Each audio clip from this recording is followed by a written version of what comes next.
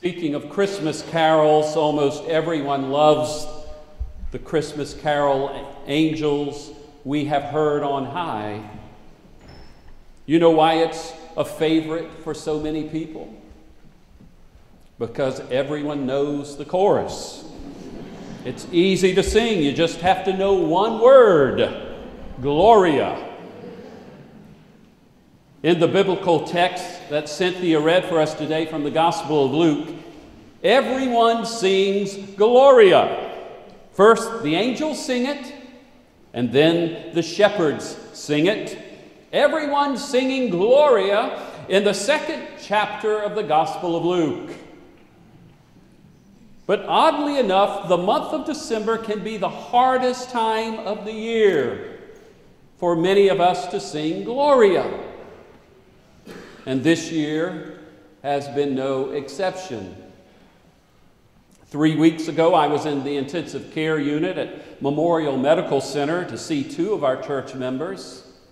And I bumped into my friend Sam Bice, who is the minister of St. Peter's Episcopal Church.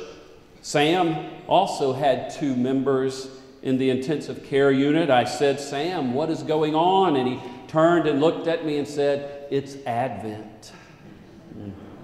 And he's right. Every year during the Christmas holidays, there seems to be a tsunami of illnesses and accidents and deaths. I officiated two funerals this week and attended another.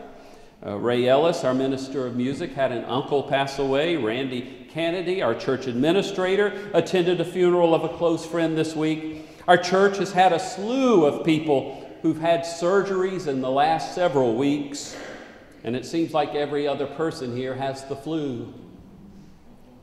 Not to mention all of the crazy and tragic stuff happening in our country and overseas. How in the world, how in the world can we sing Gloria? How do we experience the Christmas spirit when there is so much to be down about?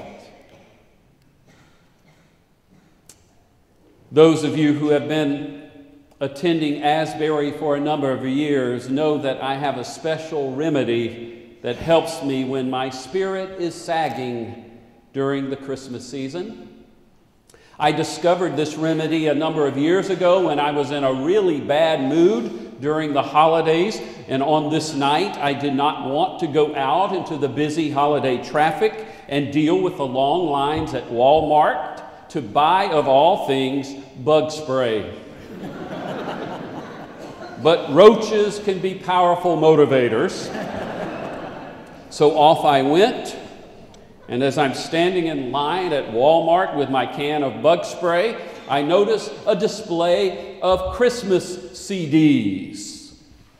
And at first I said, Bah humbug to this display of CDs. I was tired of hearing Christmas music. It all sounded so sappy and syrupy and samey and Pollyannish to me. It certainly didn't register with my mood.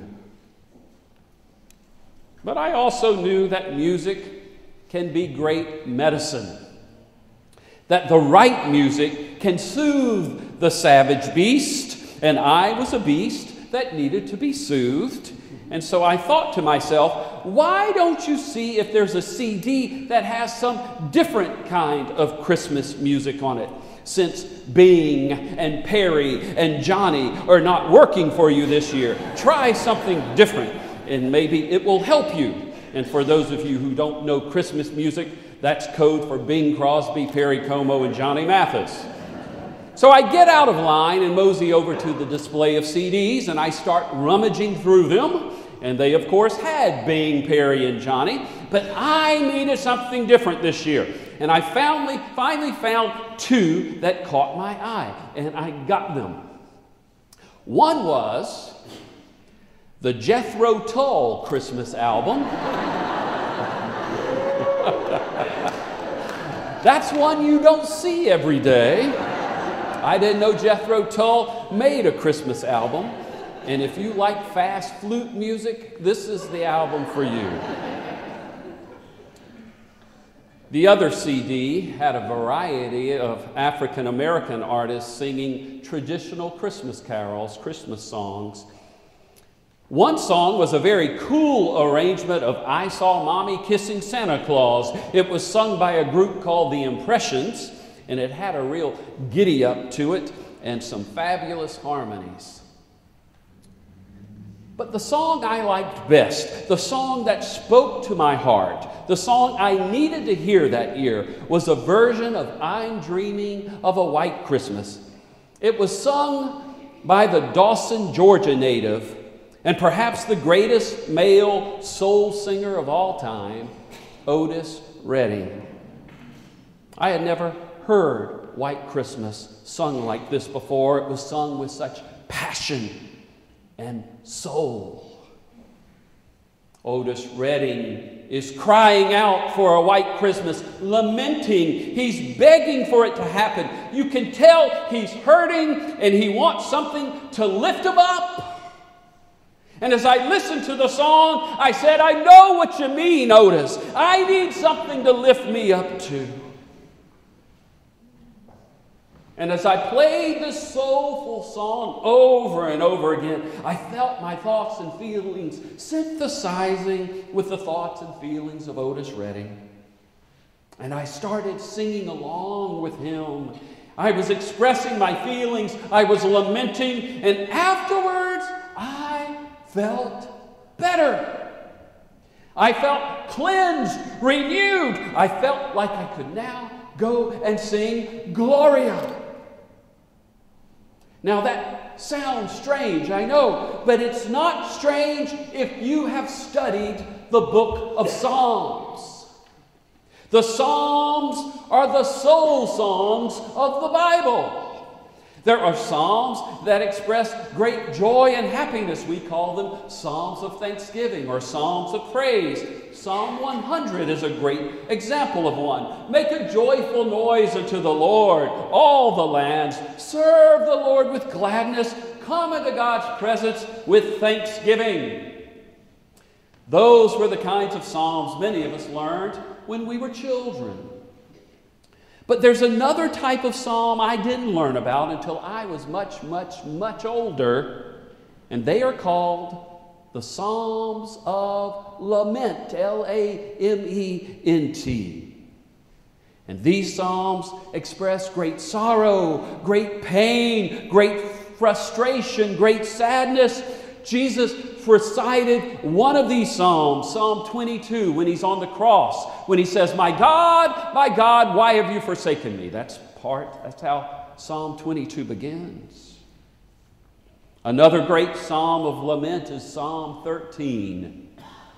How long, O Lord? How long, O Lord, will you forget me forever? How long will you hide your face from me?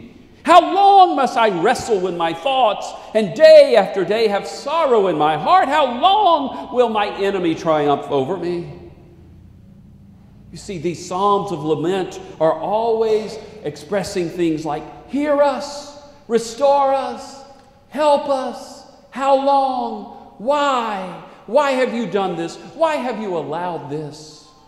Do you hear their openness? Their honesty. Somebody has a cell phone going off. Please turn it off. Okay.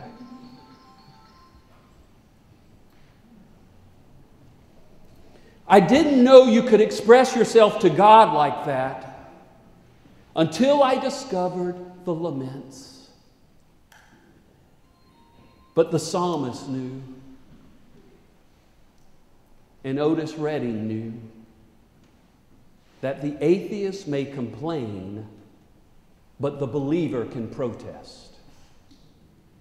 You hear that? The atheist may complain, but the believer can protest because the believer believes there's someone to get angry to. He or she believes there's someone to cry out to. Our protest therefore, our questions end up being affirmations of faith. Do you know how Psalm 13 ends? This psalm that rails out to God with all of this frustration and questioning ends this way But I trust in your unfailing love. My heart rejoices in your salvation. I will sing the Lord's praise, for he has been good to me.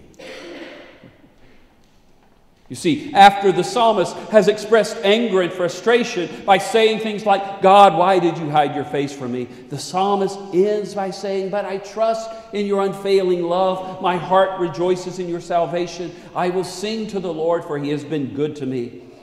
The same thing happens with Psalm 22, the one that begins with, My, my God, my God, why have you forsaken me? At the end of each lament, the psalmist changes his or her attitude.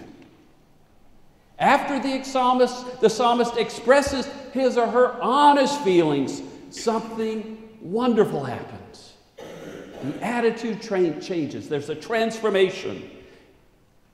The psalmist experiences hope and trust. If you are having trouble getting into the Christmas spirit this year, in this chaotic world? The first question I would ask you is this Are you praying?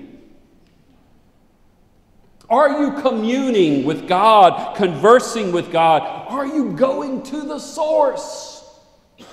After all, you are spirit. We're all in costumes. Your essence is spirit. So, are you going to the great spirit? to be renewed. The second question I would ask you is How are you praying? How are you praying? Are you being honest with God? Or you just kind of doing polite, rehearsed prayers? If that's the case, it's not getting the job done. Try doing that with your husbands or your wives or partners or friends. Just give them the pat answers. Never go deep with them. Never share your deepest thoughts and feelings, and let's see what your relationship develops into. It will develop into nothing, it will be shallow.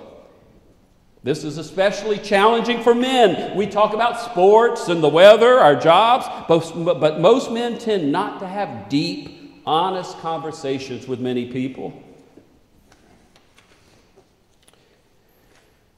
And thus, a lot of men have very few deep, meaningful relationships, and that's why I'm so glad we've started this Thursday evening men's group. When we are authentic with God, when we are honest with God, when we share our feelings, we get blessed. For it is only with those who are totally honest with that we draw closer to. So, if you're having trouble getting into the spirit of the season, it does no good to blame Santa Claus or the busy traffic or even the tragedies that seem to come along so often at this time of year. If our spirits are low, it's because we are not connecting enough with the source. If you want to help your spirits, if you want to be able to sing Gloria, then the best thing to do is to get in touch with the source of your spirits, the Great Spirit. Therapy can be helpful, friends can be helpful, a Bible study can be helpful, a thousand dollars can be helpful. But none of those things are going to give you life in its fullness. If you really want to do some spirit lifting, the best thing to do is to go to the source. And that's what the shepherds did. Remember, their spirits had to be low. Shepherds were looked down upon in that culture at that time. They lived outside the boundaries of their society. They were assumed to lead shiftless lives. They would hardly be considered trustworthy sources for any news of importance. They had a lot to be down about. And then the angels came and said, Go to Bethlehem and see. And they are the first ones to hear, the first ones to see, and the first ones to tell of Jesus' birth. They go forth and sing Gloria because they went to Bethlehem and connected with the source. You see, the word Gloria comes from the word glory.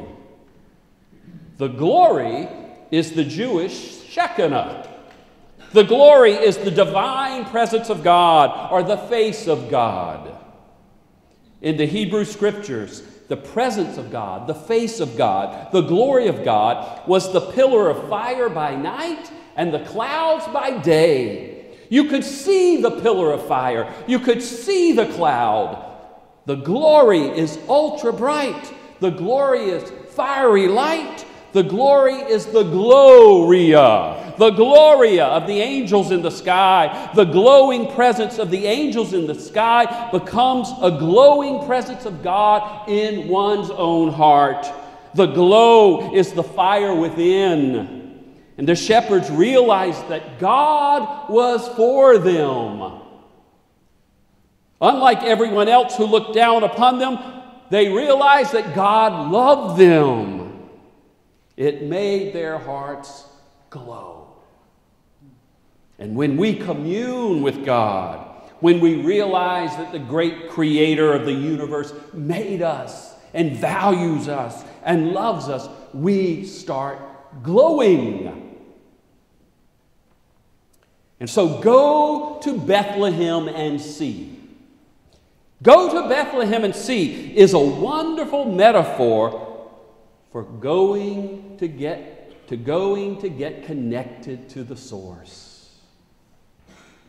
The angels are telling you and me today and every day go to Bethlehem and see.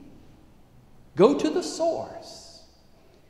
If you and I follow the angels' encouraging words, we will soon be singing Gloria, Gloria, Gloria.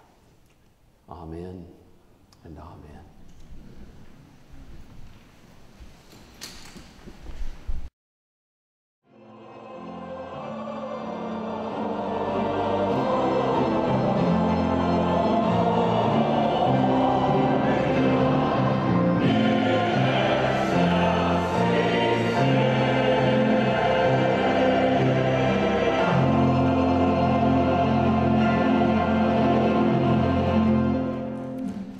Bless you. What a beautiful service today. Thank you, choir, for the wonderful music and our musicians.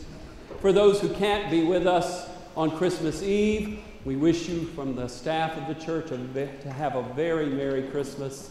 For those who will be here Christmas Eve, we look forward to having you. Be sure to invite family and friends to this extraordinary worship experience. And it looks like Nicholas has joined us just in time. Perfect timing, St. Nick. Let us go.